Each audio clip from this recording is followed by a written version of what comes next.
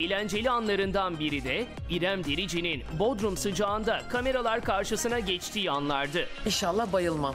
O kadar diyeyim tabii. Geçen Happy Hour'da çünkü böyle bir üç kere gidip geldim. İrem Derici o kadar bunalmıştı ki sıcaktan bir ara bahçeyi sulayan görevliyle göz göze gelmiş ve hortumu ele geçirmek istemişti. O hortumu alıp var ya şimdi kendimi sulamak istiyorum.